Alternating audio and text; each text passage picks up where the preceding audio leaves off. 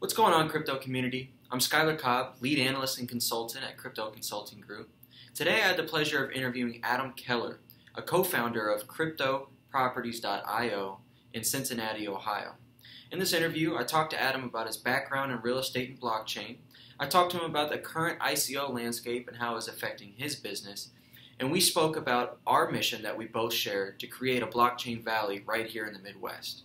With that being said, watch the video and enjoy.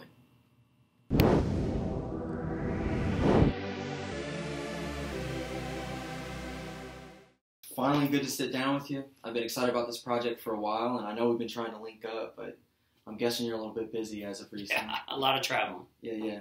Well, I know a lot of our um, members, a lot of people that follow CCG have heard about your project. We've been tooting your horn there in Louisville. Nice. And so um, today we really just want to give them, you know, a good scope of what you're doing here with CProp, your background, your team, and what you're trying to do here in the uh, blockchain valley. Sure. Sure. So um, why don't you start off with a little bit about yourself and kind of your background in real estate specifically? Yeah. So um, back in uh, 2009, uh, two co-founders and I um, came up with uh, a company called Dotloop. Yeah. Uh, at the time, it was called MLS Contracts, which was like not as good of a name. Uh, and we finally came landed on Dotloop after a lot of uh, thinking as to like what we were going to do with it. But essentially, the idea was we connect the dots and keep you in the loop. That's where the Right. name kind of came from. Nice. Um, but uh, Austin Allison, who was it was all his idea.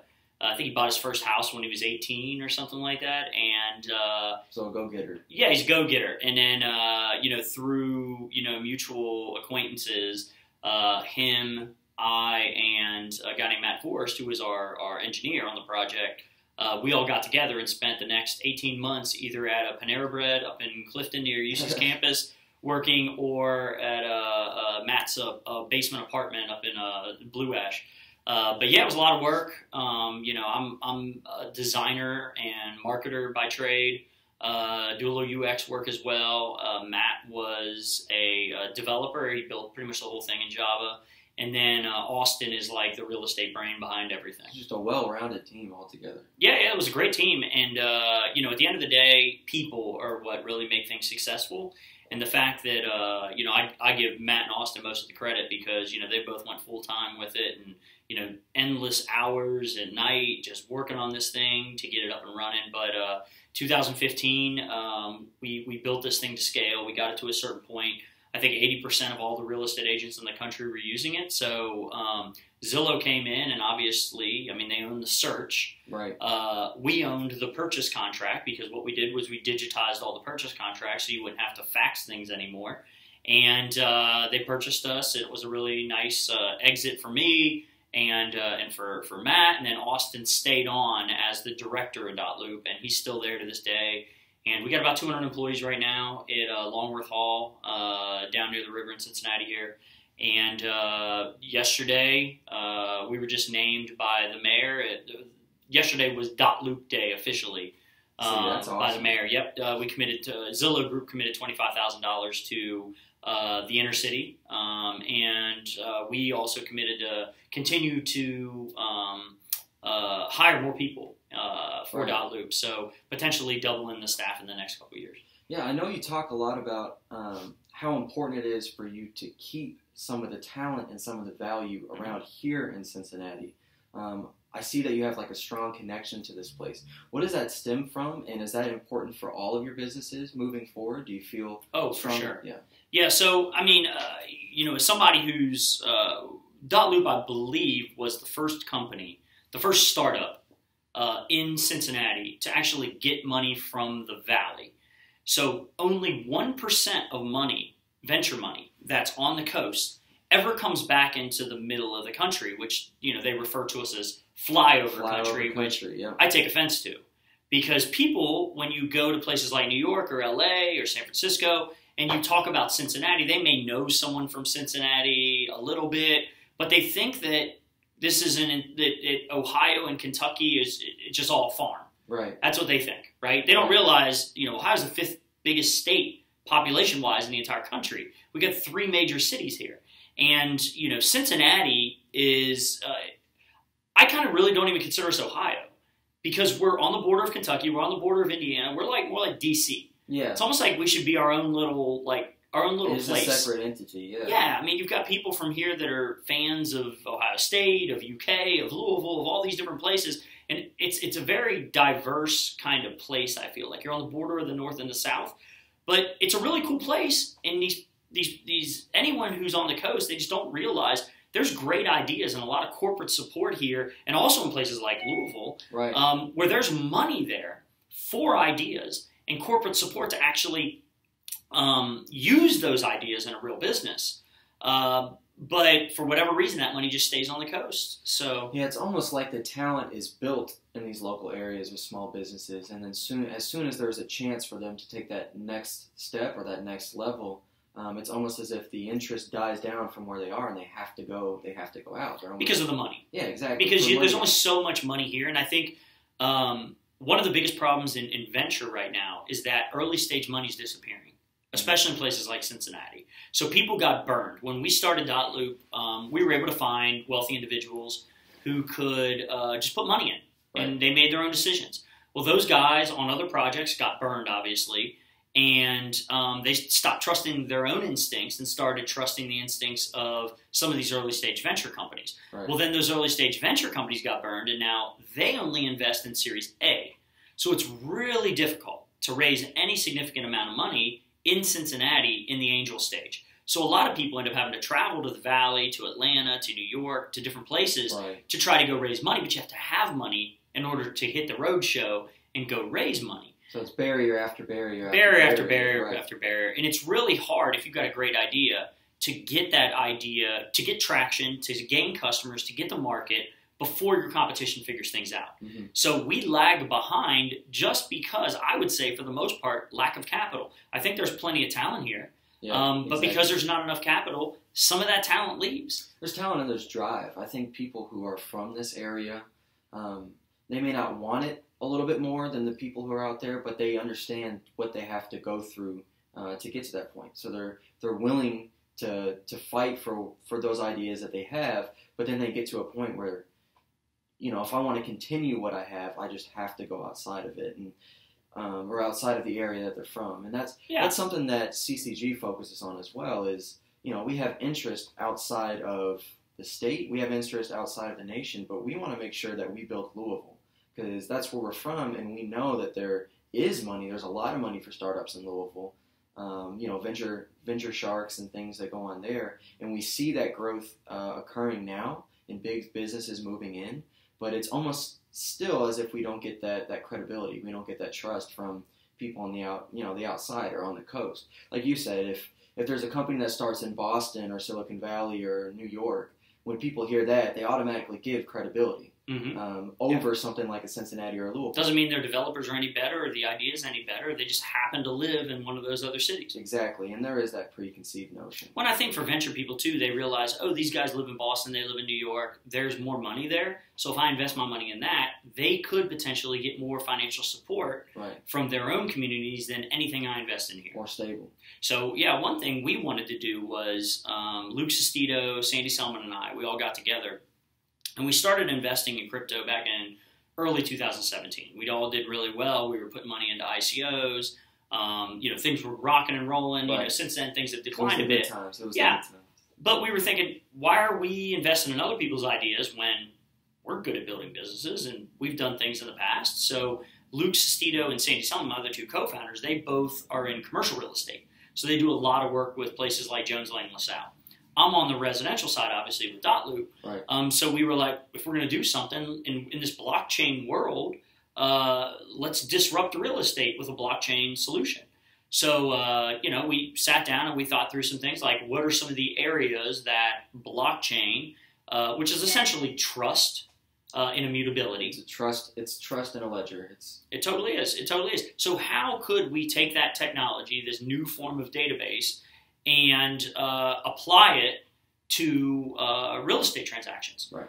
Uh, one thing that has never happened yet is nobody's actually digitized the close. You still go to a title agent's office. You still fill out a giant stack of a papers stack of papers. I remember. Yeah, every single time. every single time. That stack of papers then has to go to the county, right? The county sticks it in a filing cabinet. Maybe they have an electronic record somewhere. Maybe they don't. Maybe everything's paper based. So we did a little research. I think there's like 7,000 municipalities in the country. And if anybody knows how uh, blockchain technology works, uh, essentially each one of those counties could act as a node on a blockchain. Right. There could be one public record for all the, the titles, all the property deeds in the entire Right. country. And each one of these could act as a node.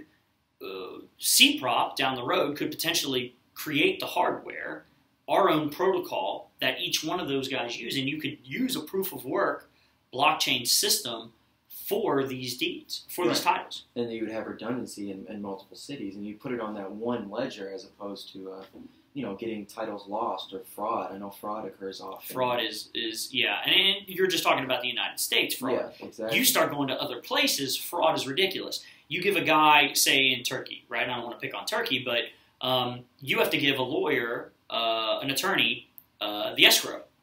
Fifty percent of the time, this is what we hear, the guy runs off with your money. Why isn't that in a smart contract? right. It could totally be in a smart contract. Why is there still that trust, that massive trust that you have to give somebody outside of your own realm, someone that you, you don't know? And if you want that piece of property, those are the channels you have to go through. And, and if you're American and you're trying to buy property in Turkey, you don't know a thing about their process. Right. So one of the things CPROP wants to focus on is trust, obviously, by using the blockchain. But the bigger idea is is how do we enable cross-border transactions, right? How do we help people who, for example, are in China, which is the biggest money flow of real estate cross-border, goes from China to the United States. So there's a lot of Chinese buyers, mainly because you know they want to get they want to invest in something outside of their Chinese borders. Right. So a lot of times they look at places like Manhattan, they look at places like South Beach. You know, markets that generally tend to go up, and that they can also rent out um, when they're not there. So they're looking to purchase these properties in the United States. One thing CPROP wants to do is partner with property portals that these folks are already using. So, for example, they're in China, they're using a, a popular property portal like a Zillow, Right. in China. They're looking for U.S. properties because a lot of these property portals have uh, agreements with each other where I can pull in your MLS data, you can pull in my MLS data. So they're looking at U.S. properties. They find one, they have to call the listing agent. The listing agent doesn't speak Mandarin Right. right? So we have a button essentially that we put on each listing. It says, Help me buy this property. They click on that, a list of agents comes up that they can filter through, find potentially a Mandarin speaking agent that they can communicate with. Then they can go through the entire closing process on our platform. Right. So we have uh, actually, you know, a Gantt chart or like a Microsoft project type of system that sits above all these digitized contracts, Mhm. and you can see everyone in the process, what they're supposed to do, and when they're supposed to do it. So for the agent, it saves a lot of time on the phone. Right. You no longer have to answer these calls like, "Hey, where are we at in the process?" "Oh, the underwriter has it still." "Oh, next day I'm calling them back. Hey, where are we at?" "Underwriter still has it." Right? Right.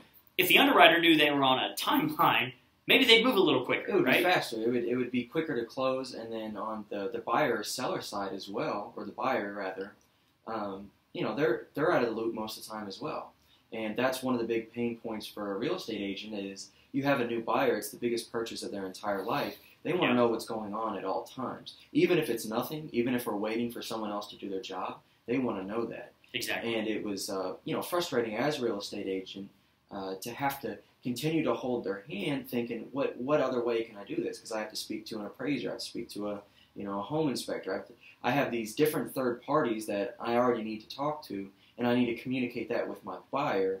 Um, and if I have multiple deals going on, then I'm always on the phone with people, just updating them on what's going on Exactly. not lead generating, not you know making making it a smoother process. It's just here's what's happening, and I need you to have this done by this time. With lead generation too. Yeah. So Zillow's model obviously is you as an agent, you buy zip code. So you spend ten thousand dollars a month advertising on Zillow, and now you get bumped up whenever someone comes on Zillow's platform and looks for a property. You show up, right? So there you are on this listing, um, and people generally contact that person, right? So you know you pay for that lead generation, right? So you you pay for that because Zillow was actually sending you deals. Right. We want to do the same thing. So every agent that's listed in our trusted database, um, everyone who's in there essentially buys our token. If no one knows how, how uh, crypto tokenomics work, um, essentially we have a fixed supply of tokens, and then some of those tokens go on an actual exchange and they're traded in the market. Right. Uh, and then some of those tokens go on our platform,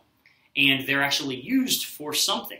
And whenever you create the tokenomics of your platform, you have to figure out how does this token play in, and how does this token um, gain demand over time? Like, how do we get more people to use this token? Well, as our platform gets more popular, more agents want access to this international deal flow. Right. They purchase our token as a subscription for access to these foreign buyers.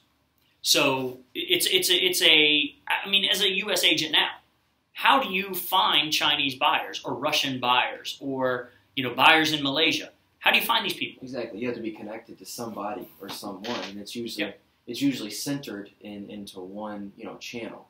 And Exactly. It's not to all these other agents that could possibly um, help that Chinese buyer. Uh, it's it's centered it's in one channel, and that's what I like about this platform as well is that it kind of gives not only everybody transparency, but everybody can be involved if if they want to. Anyone can use that. Exactly. It's free- Relocations. yeah. People uh, say Procter Gamble, for example, here in Cincinnati. Relocation is huge. They're bringing people from all over the world Right. to Cincinnati to work here. So a lot of times they need to find agents or they need to find people to work with. Well, if I'm in, you know, uh, India and I come to work at P&G and I've got, you know, six months to find a house or whatever to live in, um, you know, I could work through P&G's relocation department or I could just use CPROP and find an agent and actually close on something myself and For speak free. to someone who understands what I'm talking about. Exactly. You know, speaks Malayalam or whatever, right? Yeah. So, uh, so that's that's the that's the power of, of what we want to do. Essentially, break down borders and connect people. So, is there a way for agents to move themselves up based on um, their membership style, or I guess how Well, much the way they move up in our system is ratings. So it's very much like an Angie's List or Home Advisor or something like that. So as people close on our platform, the buyer and seller can actually rate the agents. They can rate whoever's involved in the process. Right. The bank, all third parties? all third parties um, would get ratings. We actually give some of the tokens to the buyers and sellers in exchange for their time to actually rate these That's an incentive. So Exactly. it's a self-driving economy, really. It is a self-driving economy. So think of it as like Sky Miles, right? I mean, Right. you go out to dinner. Uh, if you have your Sky Mile, your card connected to your Sky Miles account, you'll get points, and then you use those points to purchase things like gift cards. So if you're the buyer or the seller, you want these tokens because we plan on working with third-party providers, like say a Lowe's or a Home Depot or a carpet cleaner, and they could then use these tokens as a discount and, and get a discount on whatever these services are from these third-party uh, providers. Yeah, that's. I mean, that's brilliant. Yeah, and then those tokens get used up, and we actually have a, a token burn mechanism. So any tokens that are used in our platform um, to, to to help out um, uh, the people who who believed in our project early on, um, what we want to do is anyone who holds the token, um, uh, eighty percent of all the tokens that are used in the platform from day one are burned. So, which means we get rid of those out of the Out total of the supply ecosystem. out of the ecosystem, up to 20% of the total supply of tokens. So from day one, 80% of every token that's used is getting burned. Once we reach that 20% mark, we stop. But now 20% of those tokens are out of the platform.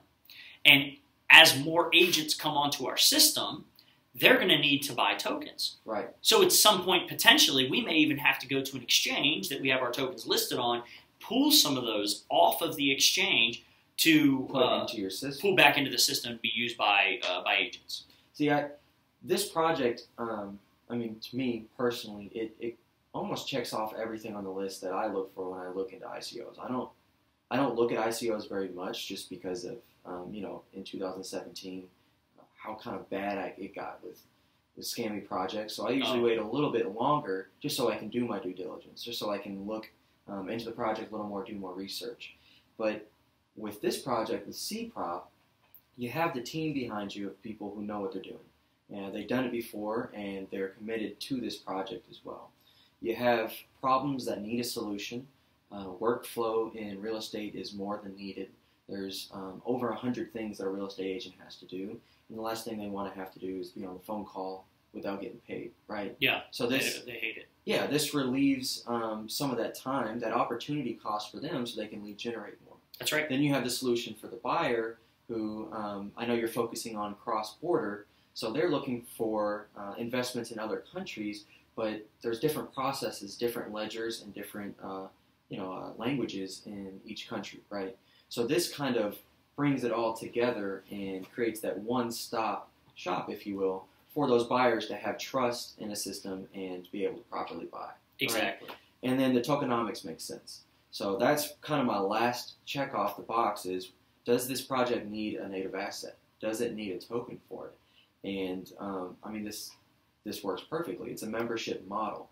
To have a free system for people to use, it, there has to be payment from from some direction. Someone has to bring money into the system, and that comes from your third party vendors who want to be on you know on your platform. Exactly. So it it, it checks off each stage, and I don't want to come off as so bullish, you know, that you know anybody who's watching this thinks, well, he's shilling. Well, it's hard to be bullish when the overall market is bearish right now. right, right. But this is a time where you do that due diligence. Yeah. This is a time where where you look at these projects who are building. You look at some projects that may be built, but they're continuing the roadmap, and you say, um, are they going to be around in a few years? Mhm. And this is one of those that I see just from having experience in uh, real estate, which is the largest asset class, um, you know, in, in the world, arguably over Right. two hundred trillion dollars, and how illiquid it is um, to be able to do that transaction because of lack of transparency um, and trust. Yeah, and I think uh,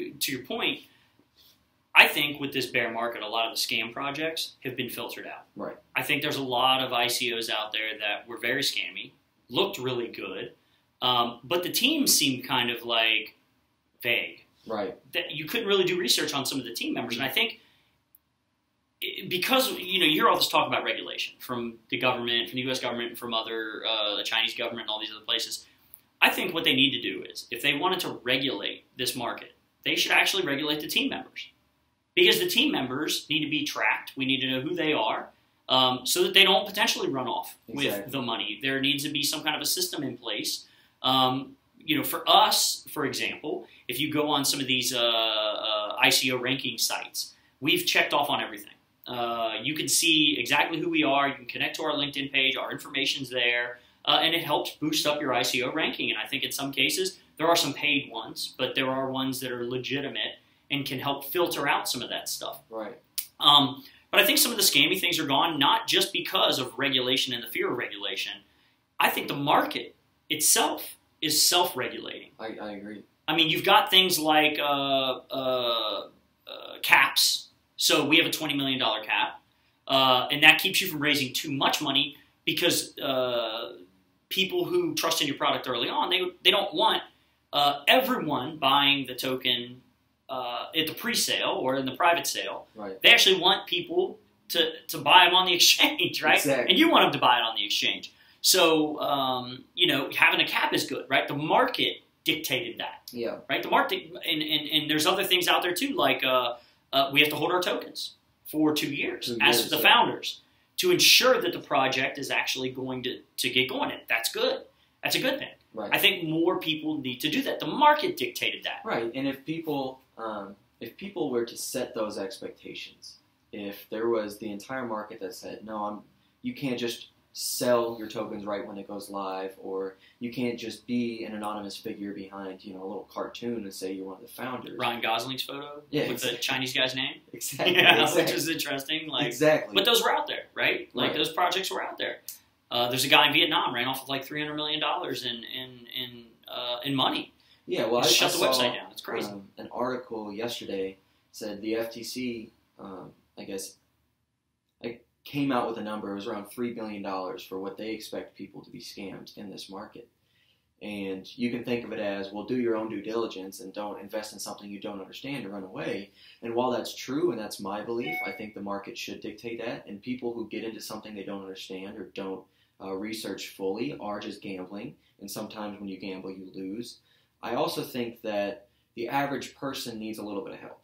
Mhm. You know, this is a complicated space. People are completely changing the way they think about money, completely think, uh, changing the way they think about trust and third parties and how do I send value and what is value at Yep. the end of the day. Um, and with that is going to come a little bit of a learning curve. And in that learning curve, you're going to have people being scammed.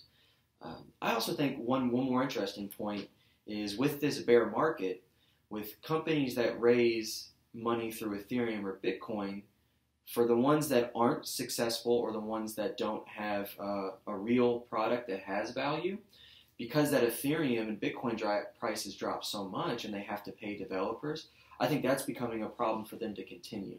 If they didn't have an idea that is, is worthy of a blockchain or is even necessary at the end of the day, and people simply speculated and invested um, off speculation and not off substance, I think we're weeding them out just through Yeah. this bear market as well. You are. So You it, are. it, it, it sucks for the time being, but after this bear market and this accumulation stage, I think really the projects that are going to be strong and stand afterwards are the one that had value. Um, you know, the ones that had value in the first. and place. we need those projects. I mean, I one thing I want the crypto blockchain uh, industry to do well. I mean, all of us do, Right. and uh, we're big fans of it. Obviously, we invested, we made money, we did really well. Um, but I buy into um, me owning my money, right? Like really owning bank. my money, being my own bank.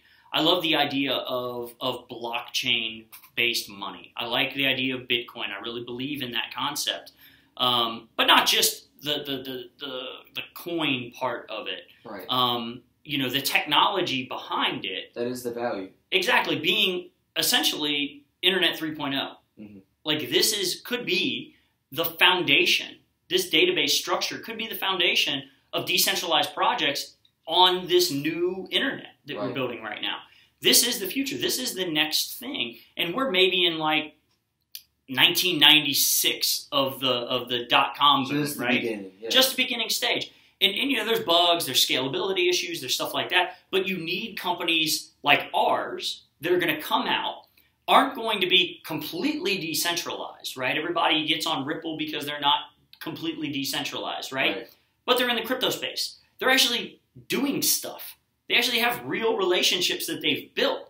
So, you know, there's always this divide, I feel like, in the crypto community between the old school, 100% decentralized, libertarian kind of blockchain, almost anarchic blockchain people Right. versus the folks that are like, hey, we believe in capitalism and let's actually build a business. So for CPROP, yes, we have components that fall into the process where they make sense that are blockchain and decentralized. Right. But for the most part, we're building a platform that is still very centralized. Well, every everything doesn't need to be uh, decentralized, and that goes back to my point of not every project that comes out that I look at, uh, most of them actually, they don't need a blockchain.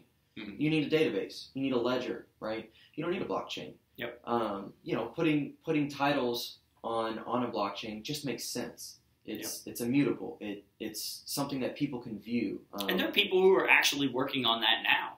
There are people who are working on creating a ledger um, for titles. Right. Uh, and- and we don't necessarily have to do that. I just want to be the marketplace, essentially, where these deals get done. I want to be the place that this stuff happens. And if you know there's a there's a third party contract system out there like an Agrello right. that we can use, let's use that. If there's a KYC software out there that we don't have to build that we know is trusted and works, let's do that. yeah, don't and we can- reinvent the wheel. We don't have to reinvent the wheel. We can patch these other technologies together and create our platform out of that, uh, which is one strategy. Or, um, depending on if we hit our hard cap or not, or if we raise enough money, we could bring in a team and actually build all that stuff from scratch, and we own that. So it's a decision we have to make. But there's technologies out there and partners out there that we can bring along with us. So if there's a blockchain forms company out there, if there's a blockchain KYC company out there, uh, if there's a company out there that's digitizing and, and putting all these titles on, on a blockchain on one public record, we'll work with them Exactly. because then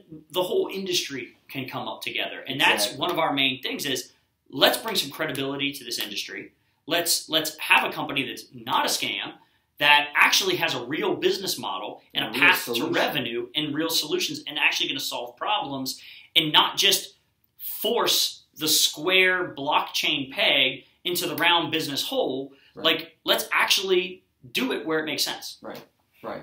So one more thing I wanted to go over is, um, you know, when a lot of people look at this project, um, I've just seen that they get excited about it, they're ready to move, they're ready to get into it, and then they hit this barrier of not being allowed to invest in it because of, um, you know, SEC regulation and, and things that go with that. So I know that that's a been a barrier for multiple ICOs, but for you, it almost seems like you all have been blessed in the Asian markets Mhm. um, Yeah. to have either connections out there or really just interest out there um, for this product.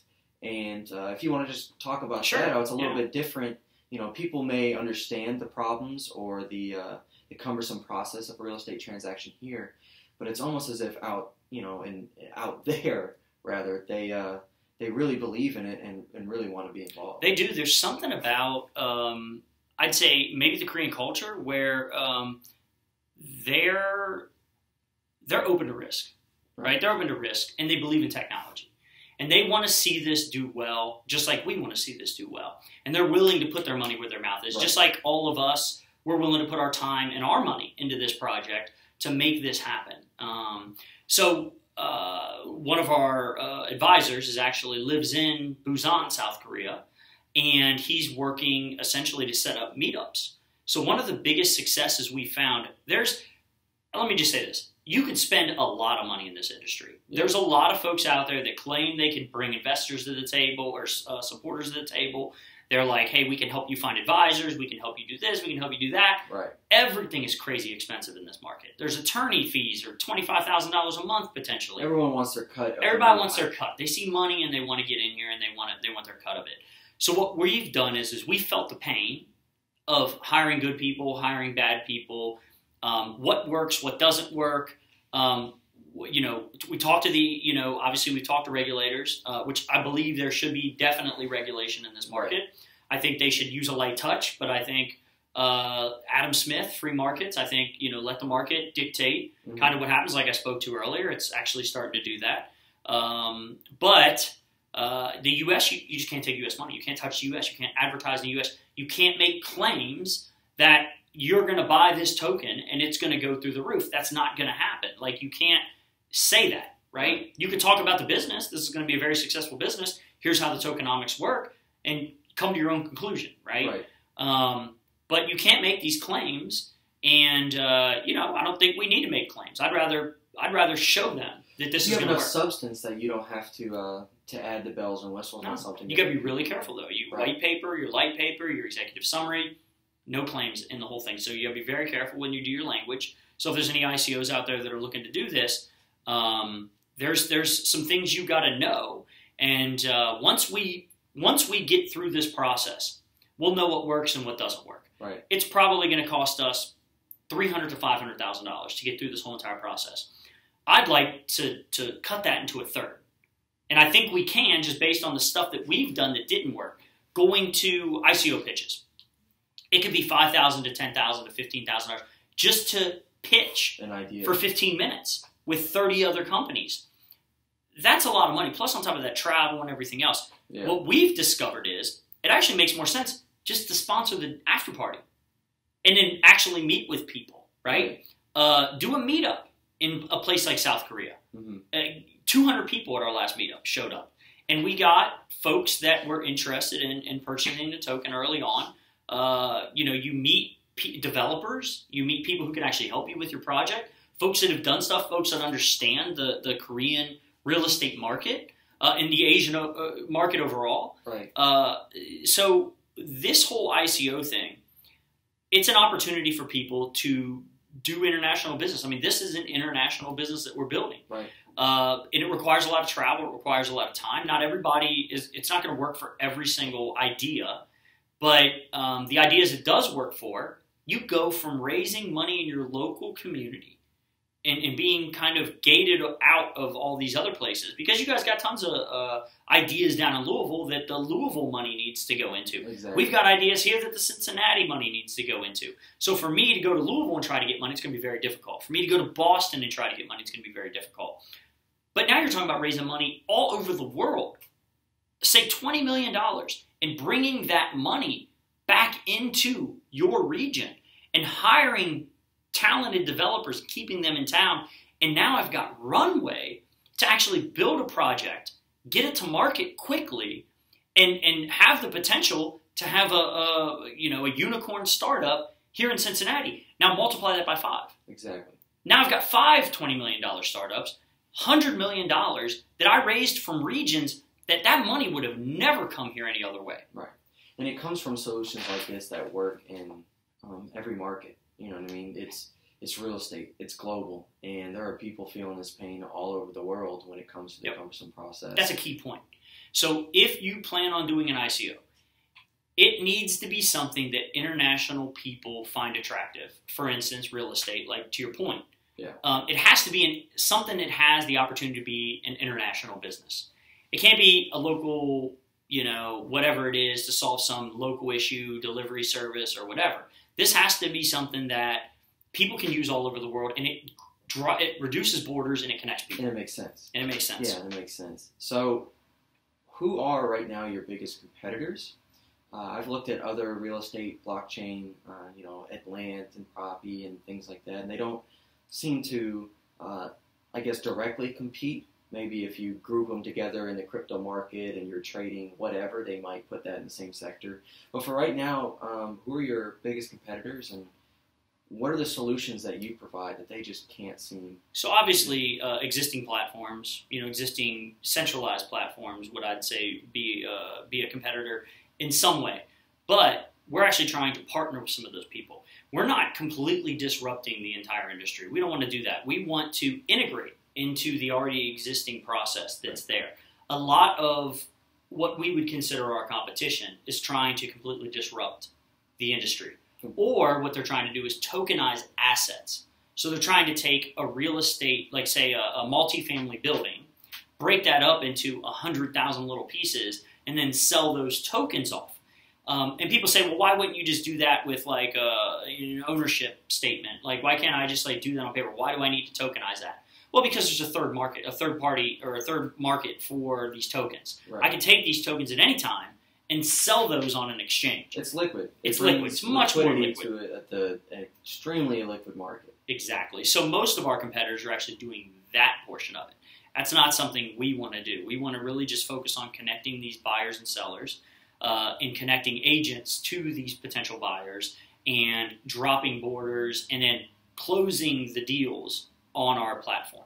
So not many people are doing that. Yeah, yeah. I mean, I haven't looked up. That's why I asked the question. I haven't. Yeah. I haven't seen other competitors. That was another box I try to check. Is you know, out of those competitors, where where are you kind of fitting in? And it's so too ambitious. Like some of the things that they're doing are just way too ambitious. It's like, you know, that's great. You want to do that. And people, when they first hear these ideas, are like, "Oh, wow, that would be huge if you could do that." Right. But you got to take baby steps. And one thing I've learned from doing startups in the past is you don't try to anger the industry, Right. right? If you want to do something big and you want to think big, that's great. Down the road, let's build a brand first. Let's get some customers. Let's get some folks behind us. Well, Let's build some market as well. If you go through the, the existing channels and you make them better and you make it uh, make sense for all of the parties involved, um, if it's just a better solution than the way that they've gone through, there's naturally value that's added to that. There's naturally a demand that comes to that.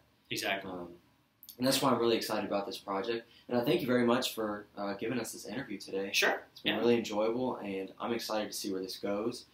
I, fortunately, obviously, I'm in America, so I can't get in, but uh, I will definitely be following this. And uh, you know, everybody that's at CCG, I'm sure you've heard of me post this, talk about our investor meetups. This is definitely one to keep track of. This guy knows what he's doing, and he has a lot of people around him that knows what they're doing as well. So, thank you very much, Adam. Appreciate it. Good talking to you. Thanks. Ooh, nice.